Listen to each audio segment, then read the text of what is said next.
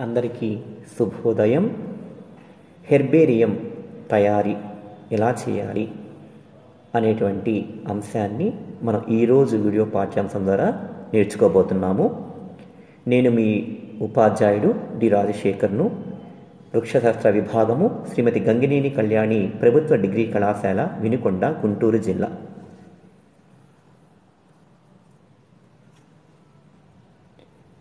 మనందరికీ కూడా తెలుసు. హెర్బేరియం అనేటువంటిది వివిధ స్థాయిలలో బయాలజీ అధ్యయనం చేసేటువంటి విద్యార్థులు ప్రత్యేకించి వృక్షశాస్త్ర సంబంధిత విద్యార్థులు వివిధ సందర్భాలలో పరీక్షలు కావచ్చును లేకపోతే అభిరుచి మేరకు కావచ్చును. మనం కొన్ని రకాలైనటువంటి మొక్కలను మనం చుట్టూ పెరిగే మొక్కలని భద్రపరిచే ప్రయత్నం చేస్తూ ఉంటాం. ఈ భద్రపరచడం అనేటువంటిది మనం చేసేటువంటి విధానము అనేటువంటిది ఎంతవరకు సమంజసమైన విధానము అన్నట్లయితే గనక హెడ్బెరియం తయారీకి కూడా కొన్ని పద్ధతులు ఉంటాయి. ఆ పద్ధతులు పాటించడం వల్ల ఏమవుతుందంటే కనుక ఎక్కువ కాలం ఆ భద్రపరిచినటువంటి మొక్క మొక్క భాగాలు సురక్షితంగా ఉంటాయి. ఆ ఉద్దేశంగా మనం హెర్బేరియం తయారీ అనేటువంటిది మనం ఒక శాస్త్రీయ పద్ధతిలో చేస్తే గనక చాలా బాగుంటుందనేది నా ఉద్దేశ్యం. అంతేకాకుండా బాటనీ అభ్యసించేటువంటి విద్యార్థులు కావచ్చును పరిశోధకులు కావచ్చును ఈ హెర్బేరియం తయారీ విధానాన్ని గురించి కొంత అవగాహన ఖచ్చితంగా కలిగి ఉండాలి. మరి ఈ హెర్బేరియం అనేటువంటి ఈ అంశము మీ పరీక్షల్లో కూడా అతి ముఖ్యమైనటువంటి ఎస్సే క్వశ్చన్గా ఉంది. కాబట్టి మనం ఈ వీడియో పాఠ్యాంశం ద్వారా ప్రధానంగా హెర్బేరియం యొక్క పరిచయ అంశాలు హెర్బేరియం వల్ల మనకు కలిగే ఉపయోగాలు ఏమిటి ప్రపంచవ్యాప్తంగా విస్తరించినటువంటి వివిధ ప్రధానమైనటువంటి హెర్బేరియం స్థావరాల గురించి హెర్బేరియం తయారీలో అవసరమైనటువంటి పనిముట్ల గురించి తెలుసుకుందాం. మరొక వీడియో ద్వారా హెడ్బిర్ని ఎలా తయారు చేస్తామో ఆ విధానాన్ని మనం విడిగా చదువుకుందాం.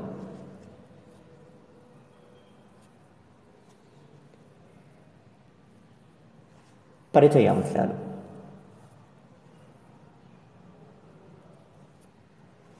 అద్దుడు కాగితాల మధ్య ఒత్తిడి చేసి తడి లేకుండా ఆరబెట్టి నిర్ణీత కొలతలతో తయారు చేసిన అట్ట ముక్కల మధ్య.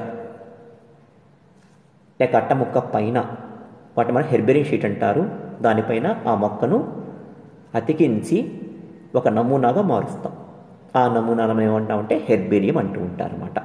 అదుడు కాగితం ఎందుకు ఉపయోగించుకోవాలి? మొక్క యొక్క లోని ద్రవరూప కణరసం కావచ్చును మొక్క సంబంధించినటువంటి జీవ పదార్థ అంశాలు కానీ అవి మనం ప్రెస్ చేసినప్పుడు బయటకు వచ్చే అవకాశం ఉంది. ఆ బయటకు వచ్చినటువంటి ఆ యొక్క తడి పదార్థము అనేటువంటిది ఫంగి రావడానికి ఇతర సూక్ష్మజీవులు ఆశించడానికి అవకాశం ఇస్తుంది. తద్వారా మనం ప్రెస్ చేసిన మొక్క అనేటువంటిది ఏమవుతుంది? పాడే ప్రమాదం ఉంది. మనం చేసిన ప్రయత్నం అంతా కూడా వృధా అయిపోతుంది. అందువల్ల అద్దుడు కాగితాలు బ్లాటింగ్ పేపర్స్ మధ్య మనం ప్రెస్ చేసి పెట్టి తద్వారా మొక్క నుంచి వచ్చేటువంటి ఆ రసాన్ని మనం ఆ యొక్క అద్దుడు కాగితాల ద్వారా పిలిచే విధంగా చేసి ఈ ప్రక్రియను ఇంచుమించు నాలుగైదు సార్లు మనం మార్చి మార్చి చేయడం వల్ల అంటే కొత్త పేపర్ల మధ్య పెట్టి చేయడం వల్ల పూర్తిగా కొంతకాలానికి ఆ మొక్క పైన తడంతా కూడా పోతుంది పొడిగా అయిపోతుంది అనమాట అలా ఆరబెట్టినటువంటి ఆ యొక్క మొక్కను ఒక నిర్ణీత కొలతలతో ఉన్నటువంటి హెర్బేరియం షీట్స్ మనం తయారు చేయించుకోవచ్చు లేక బజార్ మనకు అందుబాటులో ఉంటాయి. వాటిని తీసుకొని ఆ మొక్కను ప్రెస్ అయిపోయిన తర్వాత చక్కగా వాటిని అంటించడం అని కుట్టడం ద్వారా మనము ఒక నమూనాగా మారుస్తాం. దాన్ని మనం హెర్బేరియం అంటాం అన్నమాట.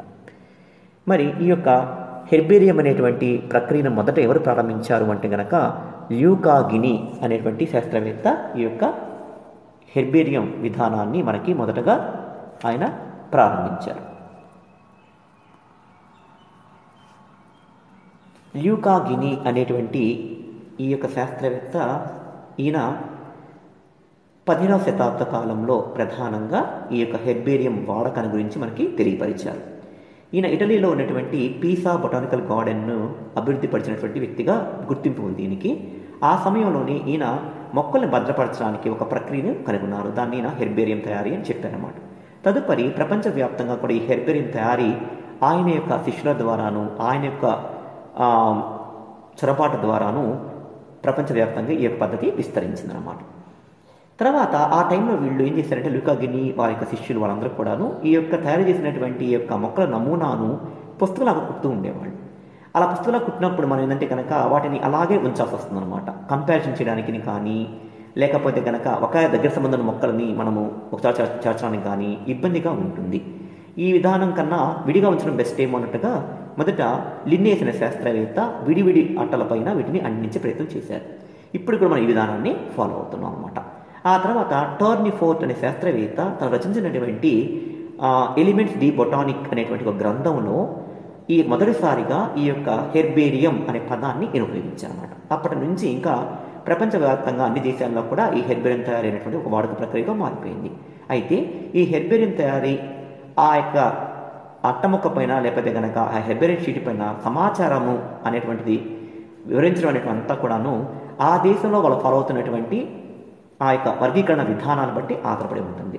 మన దేశం భారతదేశం తీసుకుంటే అలాగే ఇతర మనకి ఈ యొక్క బ్రిటిష్ పాలిత దేశాలు తీసుకుంటే గనక వీటన్నిటిలో కూడా ఏముంటుందంటే కనుక బెంతమర్ మరియు వర్గీకరణను మనం అవలంబిస్తున్నాం. ఆ బెంతహుక్ర వర్గీకరణ అనుకూలంగా మనము ఆ వర్గీకరణ విధానాన్ని పాటిస్తూ సమాచారాన్ని నమోదు చేసుకుంటూ ఉంటాం అన్నమాట లల్యూ కాగిని ఈ పద్ధతికి నాంది పలికారు.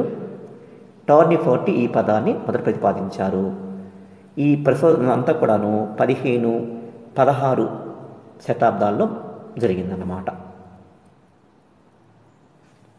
మరి ప్రముఖ హెర్బేరియాలు అంటే ప్రపంచవ్యాప్తంగా కూడాను ఈ హెర్బేరియంను తయారు చేసేటువంటి ప్రధాన కేంద్రాలు ఉంటాయి కదా ఈ ప్రక్రియ నాలుగు వందల సంవత్సరాల నుంచి ప్రారంభమైంది ఈ యొక్క హెర్బేరియం తయారు చేసే ప్రక్రియ.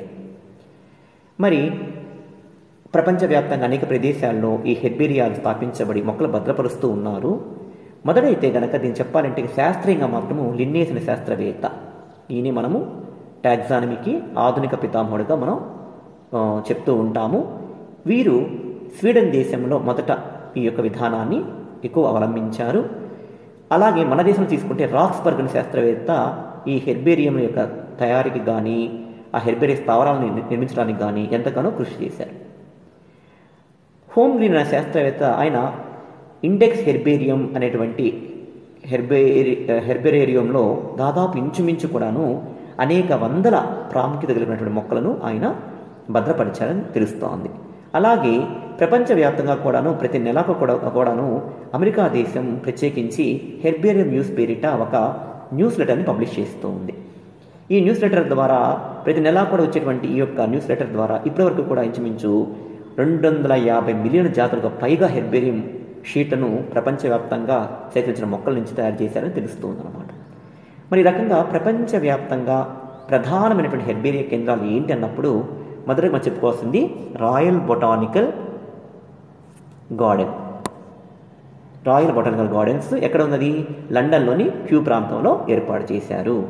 అలాగే మరికొన్ని తీసుకుంటే కనుక ఫ్రాన్స్లోను రష్యాలోను జెనీవా అమెరికా ఇంగ్లాండ్ స్వీడన్ లాంటి అనేక ప్రధాన దేశాలలో అంటే వృక్ష సంపద ప్రధానంగా ఉండేటువంటి దేశాల్లో మనకి ఎక్కువగా వీటిని చూడవచ్చు. మన దేశంలో ప్రపంచవ్యాప్తంగా గుర్తింపు పొందినటువంటి ఒక మంచి హెర్బేరియం స్థావరము బొటానికల్ సర్వే ఆఫ్ ఇండియా మీకు తెలిసిన విషయం ఇదంతా కూడా. ఎక్కడ ఉంది బొటానికల్ సర్వే ఆఫ్ ఇండియా దీన్ని బిఎస్ఏ అంటారు షార్ట్ ఫామ్లో కలకత్తాలో ఉన్నదన్నమాట. అలాగే మరి మన దేశంలో ప్రధానం తీసుకుంటే ఇప్పుడే మనం విన్నాము బొటానికల్ సర్వే ఆఫ్ ఇండియా అనేటువంటిది. దీని యొక్క సౌజన్యంతో వీరి యొక్క కృషి వల్ల ఇతర అనేక ప్రాంతాలలో ఉపకేంద్రాలు కూడా మనకి ఏర్పాటు చేయబడ్డాయి. అవి కూడా చాలా మంచి మంచి హెర్బేరియం తయారు చేస్తూ ఉన్నారు. వాటి ప్రధానంగా చెప్పాలంటే సెంట్రల్ నేషనల్ హెర్బేరియం అనేటువంటి ఒక సంస్థ అనమాట అది ఎక్కడ ఉందంటే కలకత్తాలోనే ఉన్నది. అలాగే అటవీ సంబంధించిన అడవిలో సంబంధించినటువంటి ప్రధానటువంటి వృక్షాలు వాటి యొక్క హెర్బేరియాలను డెహ్రాడూన్లో ఉన్నటువంటి ఫారెస్ట్ రీసెర్చ్ ఇన్స్టిట్యూట్ వాళ్ళు కూడా మెయింటైన్ చేస్తూ ఉన్నారు. అలాగే బాంబేలో కానీ లక్నోలో అలహాబాద్ షిల్లాంగ్ కోయంబత్తూరు మరి ప్రధాన ప్రాంతాలలో కూడా మన దేశంలో ఈ హెర్బేరియాల్ని పొందుపరిచేటువంటి స్థానాలు ఉన్నాయి. ఇవన్నీ కూడాను బొటానికల్ సర్వే ఆఫ్ ఇండియా వారి యొక్క నేతృత్వంలో వారు ఏర్పాటు చేసినటువంటి ఉపకేంద్రాలుగా ఉండి అంటే ఒక దేశంలోని తూర్పు ప్రాంతాలు పశ్చిమ ప్రాంతాలు దక్షిణ ఉత్తర ప్రాంతాల్లో ప్రధానమైనటువంటి ఉపకేంద్రాలను ఏర్పాటు చేసుకొని వాటి ద్వారా అక్కడ ఉన్న ప్రాంతంలో ఉన్నటువంటి సమాచారాన్ని మొక్కల హెర్బేరియల్ వీళ్ళు తయారు చేస్తూ ఉన్నారన్నమాట. మరి అసలు ఈ హెర్బేరియల్ ఎందుకు తయారు చేసుకోవాలి అనే విషయాన్ని మనం ఒక్కసారి పరిశీలించుకుందాం. హెర్బేరియం ఎందుకు కావాలి మనకు? పెట్టుకోవడం వల్ల లాభం ఏంటి? అంటే ఇది ఒక కాలక్షేప కృత్యంగా అనిపించవచ్చు. అంటే కొంతమందికి రకరకాలటువంటి కాలక్షేప కార్యక్రమాలు ఉంటాయి కదా. అలాగే మరి బోటనీ సంబంధించినటువంటి విద్యార్థులు కావచ్చు ఉపాధ్యాయులు కావచ్చును. మొక్కల మీద అభిమానంతో వారు ఒక కాలక్షేప కార్యక్రమంగా దీన్ని జరిపిస్తూ ఉంటారు.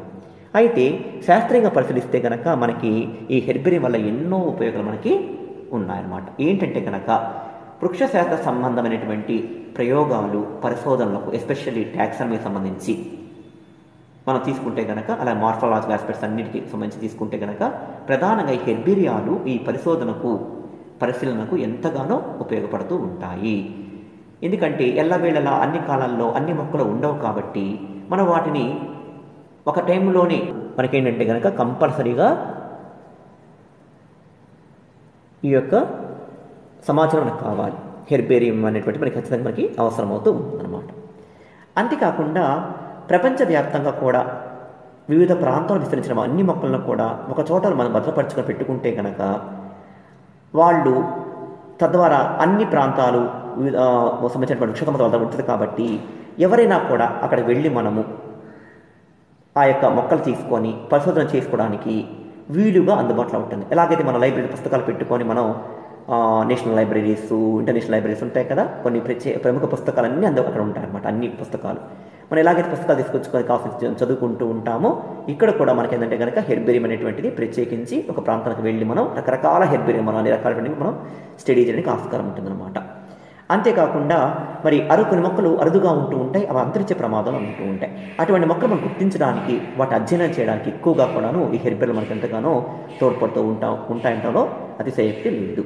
అలాగే కొన్ని సందర్భాల్లో మనకి ఏంటంటే కనుక వివిధ ప్రాంతం సేకరించిన మొక్కలు ఒక ప్రాంతం మరో ప్రాంతం మధ్య చాలా విభిన్నతలు చూపిస్తూ ఉంటాయి. బాహ్య స్వరూపరీత్యా కావచ్చును ఇతర అంశాల్లో కూడా. అలా కంపేర్ చేసి మనం వాటి అధ్యయనం చేయాలంటే మనకి ఏం కావాలంటే కనుక కంపల్సరీగా మనకి హెర్బేరియా హెర్బేరియాలు ఉపయోగపడుతూ ఉంటాయి. ఈ యొక్క అలాగే వివిధ ప్రాంతాల్లో ఎలా విస్తరించి ఉన్నాయి ఎడార ప్రాంతంలో ఉండే మొక్కలు ఏమిటి వాటర్లో ఉండే ప్లాంట్స్ ఏమిటి మధ్యక ప్రాంతంలో ఉండే విస్తరించిన మొక్కలు ఎక్కువగా ఉంటూ ఉంటాయి ఆమ్ల ప్రాంతంలో ఉండే మొక్కలు ఏంటి క్షార ప్రాంత మొక్కలు రకరకాల ప్రాంతాలలో విస్తరించినటువంటి ఈ భౌగోళికమైనటువంటి అంశాలను కూడా మనం హెర్బేరియాల ద్వారా మనం ఈజీగా అధ్యయనం చేయవచ్చు. అలాగే ఎథనోబాటనీ స్టడీస్ కూడా హెర్బేరియా ఎంతగానో మనకి ఉపయోగపడుతూ ఉంటాయి. అంతేకాకుండా ఒక కుటుంబం లేక ఒక ప్రజాతి ఒక జాతి సంబంధించిన మొక్కలను ప్రజాతి జాతి కాదు కానీ ప్రజాతి తీసుకుంటే కనుక రకరకాల మొక్కలు ఉంటుంది ప్రజాతిలో కూడా రకరకాల జాతులు ఉంటూ ఉంటాయి. వీటి మొత్తం గురించి మనం ఒక మోనోగ్రాఫ్ తయారు చేస్తూ అనుకున్నాం అనుకోండి ఆ మోనోగ్రాఫ్ కూడా మనకి ఈ హెర్బేరియా ఎంతగానో ఉపయోగపడుతూ ఉంటాయి. అంతేకాకుండా ఒక మొక్కకు ఒక సరైన పేరు పెట్టే విధానం ఉంది. తెలుసు కదా మీకు? దినామీకరణం అంటూ ఉంటాం. ఈ దునామీకరణ విధానాన్ని అనుసరించి ప్రపంచవ్యాప్తంగా మనకి ఒక లాటిన్లో కానీ గ్రీక్లో కానీ పేరు పెడుతూ ఉంటారు. ఇలా పేరు పెట్టినటువంటి ఈ మొక్కలకి ఒక ప్రత్యేకత అనేటువంటిది అంటే ప్రపంచవ్యాప్తంగా ఆ యొక్క పేరు వాడుకలో ఉంటుంది. ఎవరైనప్పటికీ కూడా కంపల్సరీగా ఆ యొక్క పేరును ఉపయోగించాల్సి ఉంటుందన్నమాట. మరి ఈ రకంగా ఒక ప్రాంతంలో ఒక మొక్క కొత్త మొక్క కనుగొ కనుగొనబడ్డప్పుడు ఆ యొక్క మొక్కకు పేరు తెలుసుకోవడానికి కూడా మనకి ఏంటంటే కనుక ఈ హెర్బేల సహాయం తీసుకోవచ్చు. అసలు ఇది పాత మొక్కైనా? ఆల్రెడీ ఉన్న మొక్కైనా? ఉంటే దీని పేరు ఏమిటి? ఏ రకంగా ఆ పేరు పెట్టారు? ఏ లక్షణాల ఆధారంగా పేరు పెట్టడం జరిగింది? ఒకవేళ ఎక్కడ మనకు దొరకలేదనుకోండి ఈ మొక్క కొత్త మొక్కగా భావించే అవకాశం కూడా ఉంటుందన్నమాట. ఇట్లా మొక్కల గుర్తింపుకిని పేర్లు పెట్టడానికి అది పాత మొక్కన లేక కొత్తగా కనబడి కనుగొనబడిన మొక్కన తెలుసుకోవడానికి కూడాను హెర్బేరియం మనకి ఎంతగానో ఉపయోగపడుతూ ఉంటాయి. అంతేకాకుండా ఫీనాలజీ అధ్యయనాలు అంటే మొక్కలపైన వివిధ కాలాల మార్పులు వాతావరణ మార్పులు ప్రభావం చూపిస్తూ ఉంటాయి. అన్ని మొక్కలు అన్ని వేళ పుష్పించు అన్ని మొక్కలు అన్ని వేళలు పెరగవు. కాబట్టి కాలాలను బట్టి అవి జరిగే ప్రక్రియ అన్నమాట. ఈ నేపథ్యంలో ఈ ఫినాలజీ యొక్క స్టడీ చేయడానికి ఎందుకంటే హెర్బేరియంలో సర్వవేళల్లో సర్వావస్థల్లో కూడా మనం మొక్కలు కట్ చేస్తున్నాం కాబట్టి వాటి పెరుగుదల దర్శనం తెలుసు కాబట్టి ఎప్పుడు ఏ టైంలో మొక్కలు బాగా అవి ఏర్పడుతూ ఉంటాయి ఏ ఏ కాలంలో? ఏ కాలంలో అవి పుష్పాలు ఏర్పాటు చేస్తున్నాయి? ఏ కాలంలో ఫలాలు ఏర్పాటు చేస్తున్నాయి? ఇవన్నీ విషయాలు కూడా మనం అధ్యయనం చేయడానికి కూడా హెర్బేరియాలు ఎంతగానో ఉపయోగపడుతూ ఉంటాయి. అంతేకాకుండా మరి ప్రపంచవ్యాప్తంగా కూడా మనం ఇవన్నీ కూడా ఏర్పాటు చేసుకుంటే కనుక మరి ప్రపంచవ్యాప్తంగా ఒక దేశం ఒక దేశం మధ్య ఈ హెర్బరీ ప్రిపరేషన్లో మొక్క సంబంధించినటువంటి విషయాల అధ్యయనంలో తేడాలు లేకుండా అరమరికలు లేకుండా చక్కగా కూడా ప్రపంచవ్యాప్తంగా కూడా ఒక విధానాన్ని అవలంబించడానికి మనకి ఈ హెర్బేరియా అనేటువంటివి ఎంతగానో హెర్బేరియా స్థావరాలు ఎంతగానో మనకు ఉపయోగపడుతూ ఉంటాయి. అంతేకాకుండా హెర్బేరియం షీట్లో మనం ఏం చేస్తున్నాము?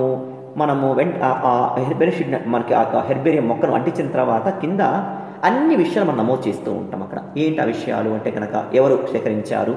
ఏ తేదీన సేకరించారు? ఆ సేకరించే సమయంలో ఏ కాలం ఉంది? ఈ మొక్క ఎంత యాటిట్యూడ్లో పెరుగుతూ ఉంది? ఎంత ఎత్తులో సముద్ర సముద్ర సముద్రానికి ఎంత ఎత్తులో ఇది ఇక పెరుగుతూ ఉన్నది. పక్కన ఉన్న మొక్కలు ఏ రకంగా ఉన్నాయి? అలా ఈ మొక్క యొక్క ఐ మీన్ శాస్త్రీయ నామము సాధారణ భాషలో ఏం పిలుస్తూ ఉన్నారు? ఆ పూలిక యొక్క రంగులు ఏ రకంగా ఉన్నాయి? కాయలుండి కాయలు ఏ రకంగా ఉన్నాయి? ఇవన్నీ మనము వర్ణించి పెడతాం. ఒక లేబుల్ సహాయం మనం వర్ణించి దానికి స్టిక్ చేస్తాం కాబట్టి ఎవరైనా కొత్త వ్యక్తి కూడా ఆ హెర్బేరియం చూసినప్పుడు ఈ సమాచారం చూసినప్పుడు కొన్ని విషయాలు మనకి ఆ యొక్క మొక్కలు కనిపించకపోయినప్పటికీ ఈ కింద సమాచారం కూడా మనకి ఏంటంటే కనుక ఎంతగానో ఆ మొక్క గురించి సమాచారం మనకి తెలియపరుస్తూ ఉంటుంది. అలాగే మరి బాటనీ సంబంధించిన ఇతర శాస్త్రాలు ఎంబ్రియాలజీ కావచ్చు taxonomy pharmacology ecology agriculture horticulture అనేక రకాలైనటువంటి విభాగాలు ఉన్నాయి కదా. ఈ అన్ని రకాల విభాగాల్లో పరిశోధనలకును ఖచ్చితంగా హెర్బేరియాలు ఎంతగానో సహకరిస్తూ ఉంటాయి. మరి అన్ని మొక్కలను ఒకే రకంగా భద్రపరుస్తారా అనేటువంటి ఒక చిన్న ప్రశ్న.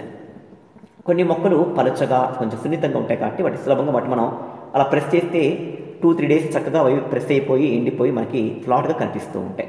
కొన్ని సందర్భాల్లో ఏమవుతుందంటే కనుక ఆ సేకరించిన మొక్కలు మరి రసభరితంగా సక్కులెంట్గా ఉంటే కనుక మనం వాటిని అంత సులభంగా ప్రెస్ చేయడానికి వీలు ఉండదు అటువంటి సందర్భంలో ఏం చేస్తే బాగుండున్నప్పుడు వాటికి హెర్బేరియంలో ప్రెస్సింగ్ విధానం కాకుండా వాటిని కొన్ని రకాల ద్రావణంలో భద్రపరుస్తూ ఉంటారు. ప్రధానంగా టూ పర్సెంట్ ఫార్మాలిహైడ్ మనం మనం మన యొక్క బోటనీ స్పెసిమన్స్ కూడా మనం దాచుకుంటూ ఉంటాం.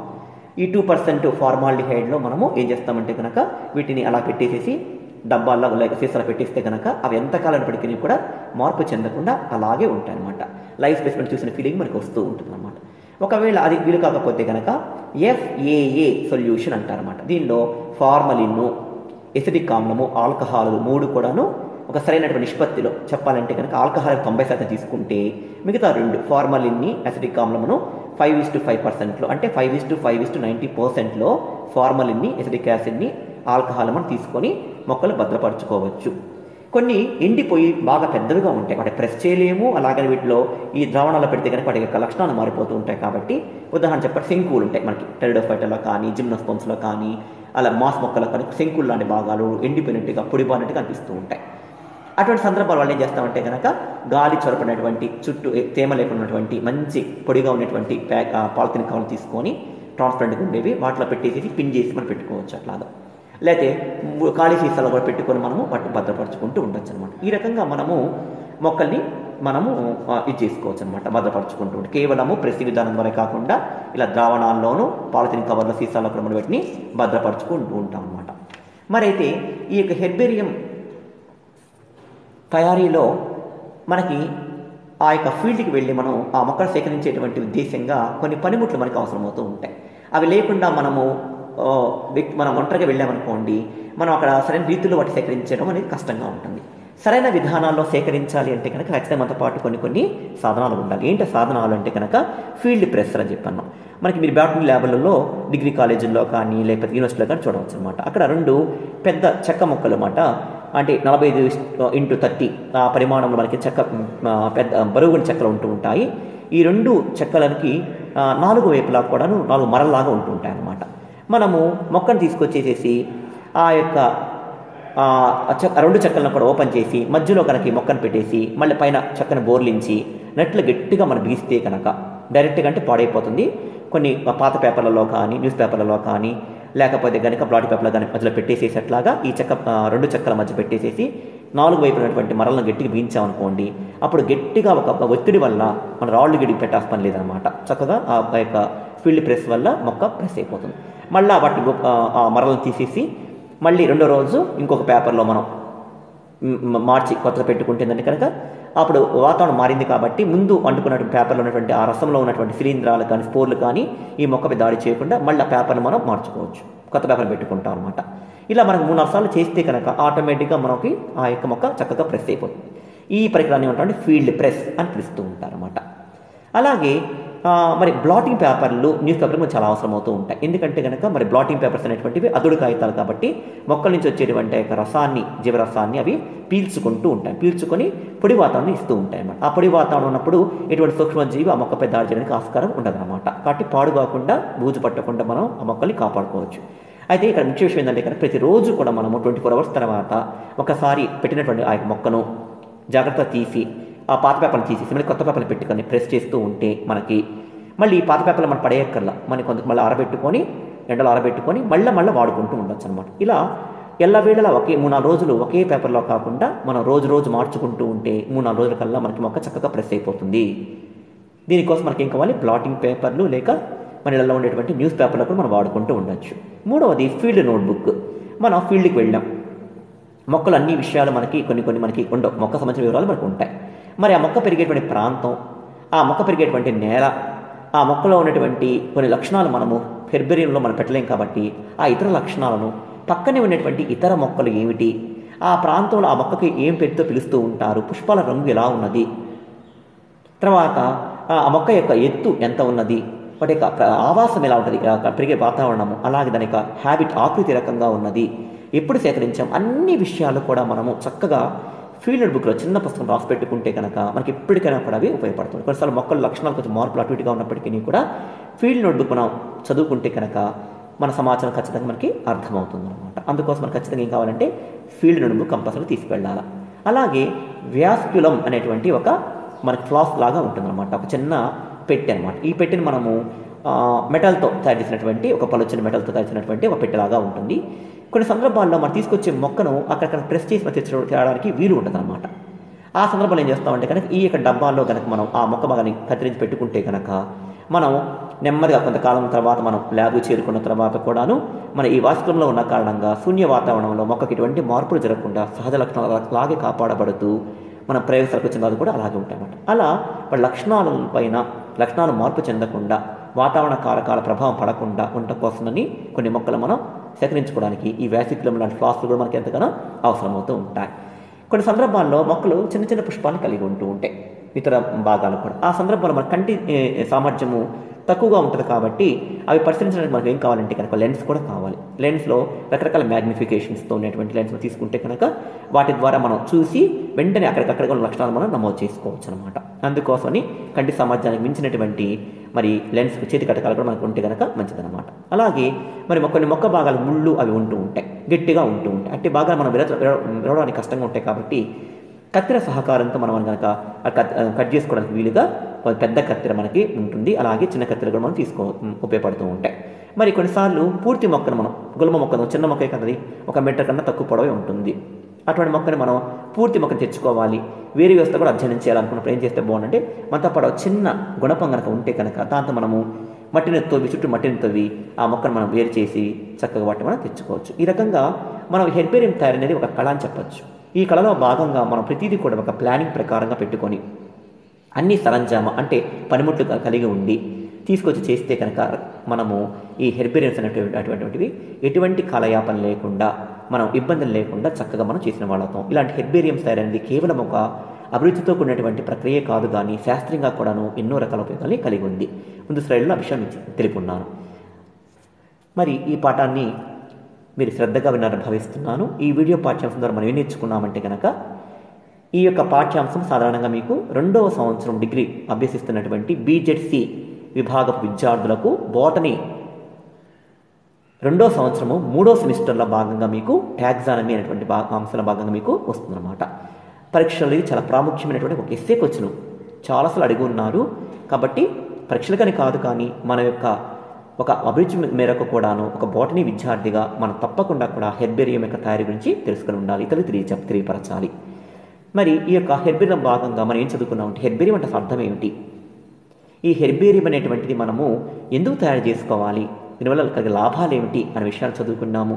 అంతేకాకుండా ప్రపంచవ్యాప్తంగా జరుగుతున్న కృషిని మనం చూసాం రకరకాలటువంటి హెర్బేరియం స్థావరాల గురించి మనం చూసాము ఆ తర్వాత హెర్బేరియం సేకరణకు మనకి ఎటువంటి సరంజామాలు పనిముట్లు అవసరమవుతాయో కూడా మనం తెలుసుకున్నాము.